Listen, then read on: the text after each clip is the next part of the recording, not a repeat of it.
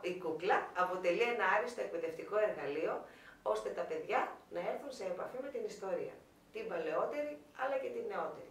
Έτσι λοιπόν αποφασίσαμε με τους εκπαιδευτικούς του Ειδικού Σχολείου Νεάπολης να κατασκευάσουμε κούκλες για να παίξουν τα παιδιά μαζί με τους αγαπημένους τους ήρωες της 25ης Μαρτίου μια θεατρική παράσταση.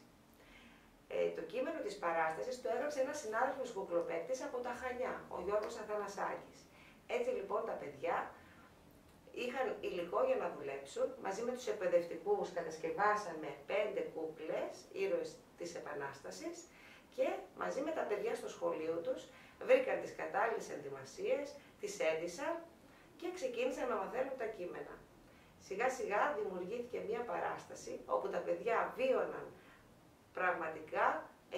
την εποχή, την ιστορία μας, είχαν δίψα και όρεξη να μάθουν ε, για εκείνη την εποχή και όλο το εγχείρημα κατέληξε σε μια πραγματική γιορτή για την πατρίδα μας. Σύντομα θα επαναλάβουμε το ίδιο εγχείρημα, εστιάζοντας αυτή τη φορά στην ιστορία της αντίστασης. Ευχόμαστε λοιπόν σύντομα να είμαστε έτοιμοι να παρουσιάσουμε το νέο αυτό έργο, όχι μόνο στο χώρο του Τυριτόμπα, αλλά αυτή τη φορά στο χώρο του Μουσείου Εθνικής Αντίστασης.